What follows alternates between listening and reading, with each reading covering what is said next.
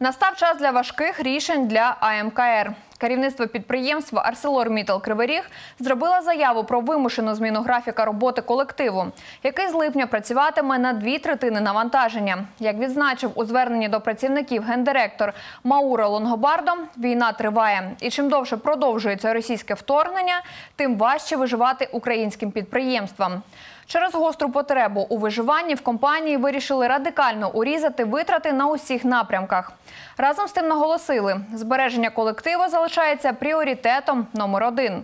У зверненні йдеться.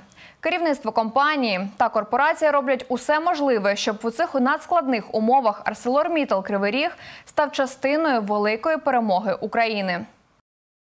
Через блокування агресором чорноморських портів у нас виникли величезні труднощі з експортом нашої продукції. Витрати на те, щоб доставити сировину до нашого підприємства, а продукцію до замовників виросли у п'ять разів. Останнім часом Укрзалізниця та залізничні компанії Європи не справляються з величезним обсягом залізничних вантажоперевезень з України. Не вистачає потужностей. Обсяги нашого експорту вимушено зменшуються. Продукція залишається на складах в Україні. Крім того, уряд прийняв рішення на 70% підвищити тарифи Укрзалізниці. Це робить і без того високі витрати на перевезення непосильними для нас. Тому зараз, коли у нас більше немає можливості платити зарплати в повному обсязі, ми вимушені переглянути графік роботи для працівників як виробничників, так і адміністративного персоналу. Вже з липня переважна частина колективу, включно з топ-менеджментом та працівниками іноземцями, працюватиме на дві третини навантаження.